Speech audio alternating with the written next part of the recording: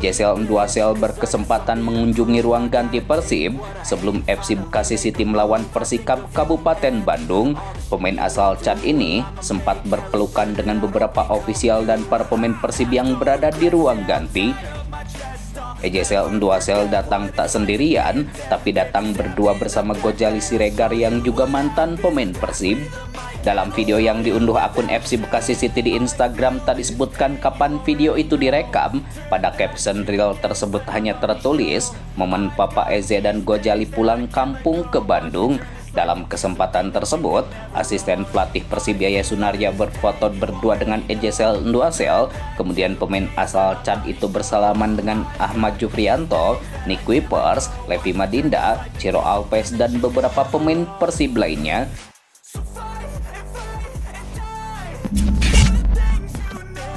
Jelang laga tandang Persib Bandung ke markas Dewa United David da Silva menebar ancaman Persib akan menghadapi Dewa United pada pekan ke-20 Liga 1 2023-2024 di Stadion Indomilk Arena pada Minggu 26 November 2023 mendatang. David da Silva mengakui Dewa United merupakan lawan yang sangat tangguh di kompetisi Liga 1 musim ini meski saat ini klasmen mereka jauh di bawah Persib. Tentunya ini akan menjadi laga yang sulit bagi kami dan ini akan menjadi laga yang ketat bagi kedua tim.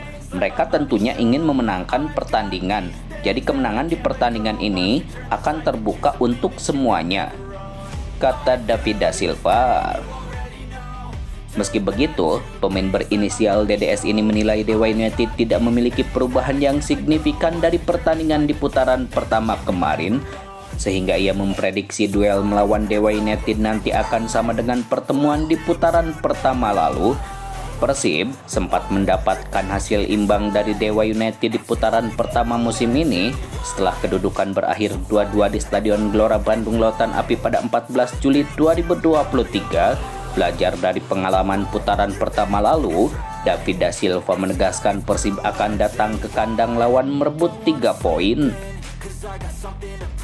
Mereka tidak melakukan banyak perubahan, jadi saya rasa ini akan sama seperti saat mereka menahan imbang kami di Bandung. Memang mereka akan bermain di kandang, tapi kami akan datang menjadi masalah untuk mereka semua. Katanya.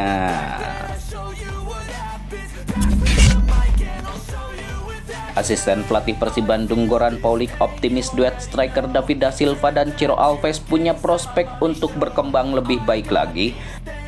David da Silva dan Ciro Alves jadi kombinasi atau duet striker paling subur dibandingkan kombinasi penyerang lainnya hingga pekan ke-19 Liga 1 musim 2023-2024. Keduanya telah memproduksi 19 gol dengan rincian 12 gol diciptakan oleh David da Silva dan 7 gol oleh Ciro Alves. Tidak hanya mencetak gol, keduanya juga cukup rutin membuat asis. DDS mencatatkan tiga kali asis dan Ciro Alves lima kali plus satu asis yang berujung gol bunuh diri dari pemain lawan. Sebagai seorang mantan striker Goran Paulik melihat duet DDS dan Ciro Alves dalam perspektif berbeda, dia yakin keduanya masih bisa terus berkembang meski secara usia sudah tidak muda lagi. Ya saya adalah striker dan melihat David da Silva serta Ciro dengan perspektif yang berbeda. Keduanya itu adalah pemain yang sangat bagus di posisinya, tapi mereka masih bisa berkembang lebih banyak karena masih ada ruang untuk berbenah. Mereka adalah dua pemain yang berbeda cara bermainnya. David merupakan penyerang tengah dan lebih memanfaatkan ruang, sedangkan Ciro lebih bergerak ke sektor sayap dan lebih cenderung mengutamakan kekuatan fisiknya ketimbang penempatan posisi, kata Goran Paulik. Tetapi di sisi lain, Goran Paulik merasa was-was karena baginya tim tidak boleh terlalu mengandalkan DDS dan Ciro Alves dalam urusan mencetak gol. Pemain lain juga harus bisa menjadi penyelesai peluang yang baik seperti mereka tapi kami bekerja ekstra untuk mereka dan memang ada perbedaan dengan penyerang lokal karena pada akhirnya terlalu bergantung pada Ciro dan David. Jadi kami butuh pemain lain di samping keduanya. Kami juga butuh pemain penyelesai peluang di dalam kotak penalti. Karena jika kami ketergantungan pada Ciro dan David, itu berbahaya. ketika mereka cedera atau terkena akumulasi kartu kuning. Katanya. Striker Persib Bandung Ezra Walian melambungkan ambisi mengamankan 3 poin saat berhadapan dengan Dewa United di pekan ke-20 Liga 1 2023-2024 Pertarungan kedua tim itu akan dilaksanakan di Indomilk Arena Tangerang pada Minggu 26 November 2023. Menjelang laga itu, Ezra Walian mengatakan secara tim terus melakukan persiapan Hari ini kami kembali memulai latihan dan rutinitas lagi setelah kemarin mendapat libur. Saya lihat hari ini semua orang tampak bugar dan menikmati jalannya latihan. Situasi ini pun sangat penting dan kami siap untuk menghadapi pertandingan melawan Dewa United. Kata Ezra Walian. Mengenai laga melawan Dewa United, Ezra Walian mengatakan itu merupakan pertandingan penting bagi Persib untuk mewujudkan target berada di empat besar pada phase reguler sebab hanya empat tim yang akan bertarung di Championship Series untuk mencari juara yang sebenarnya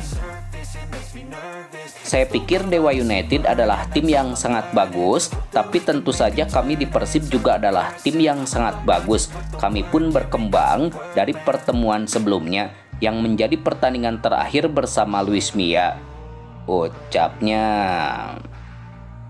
Saat menjamu Dewa United di Stadion Gelora Bandung Lautan Api, Persib gagal memenangkan pertandingan dengan skor akhir 2-2, bahkan Maung Bandung tertinggal 0-2 terlebih dahulu.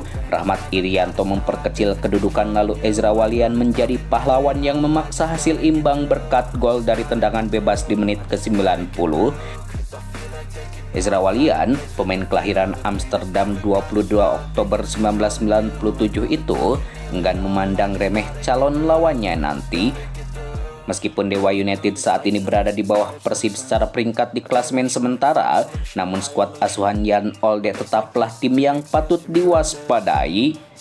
Saat ini, kami datang dengan pelatih baru dan kami terus menunjukkan perkembangan. Jadi kami sangat menantikan pertandingan ini.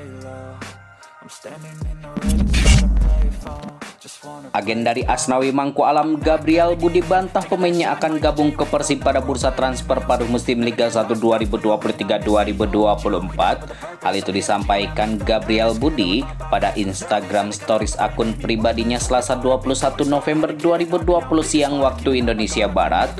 Dirinya mengatakan jika Asnawi Mangku Alam akan tetap berkarir di Korea Selatan. Asnawi still in Korea Selatan.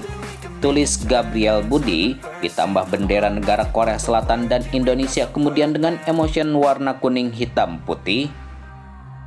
Kabar ini pun dirasa langsung membantah rumor yang beredar jika kapten timnas Indonesia ini akan bergabung dengan Persib Sebelumnya Persib sempat memposting skor kemenangan mereka 1-4 pada akun ofisial. Hal itu menimbulkan kabar bahwa Asnawi Mangku Alam akan didatangkan ke Pangeran Biru pada bursa transfer. Apalagi saat itu, Persib baru saja ditinggalkan oleh bek kanannya yaitu Putu Gede. Kabar ini pun sempat disambut bahagia oleh pelatih dari Persib Boyan Hodal. Deputi CEO PT Persib Bandung bermartabat kepincut aksi pemain nomor 4 timnas Brasil U17 Piala Dunia U17 2023 Indonesia, Joao Pedro de Nascimento de Mata, performa apik back bertinggi 186 cm itu di Piala Dunia U17 2023 menjadi alasan Persib tertarik kepadanya Joe Pedro de Mata mencatatkan tiga penampilan di Piala Dunia U17 2023 dan selalu bermain full. Ia bahkan mencetak satu gol saat Brasil U17 menang 2-1 atas Inggris di matchday ketiga grup C Piala Dunia U17 2023. Berkat bantuan pemain tersebut, timnas Brasil U17 lolos ke babak 8 besar Piala Dunia U17 2023. Terbaru di babak 16 besar Brasil U17 mengalahkan Ekuador U17 dengan skor 3-1. Bagus tuh nomor 4 timnas Brasil U17, kata Teddy Cahyono kepada awak media termasuk MNC Portal Indonesia Selasa 21 November 2023